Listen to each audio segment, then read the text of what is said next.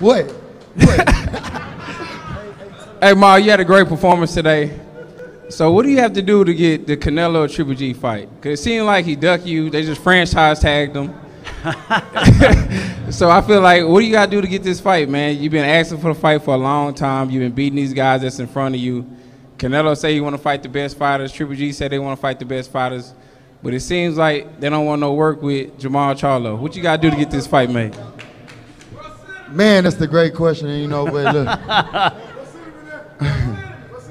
you know, in order for me to get this this fight with Canelo, I'm gonna need all my fans, all the Lions Only team to, to vouch for me. You know, uh, we all gotta just put in that word and you know keep putting in work. Canelo gotta fight me sooner or later. He cannot retire without fighting me. He, you know, I'm one of the best out there. 29 and 0, 21 knockouts. You know, he gotta fight me sooner or later.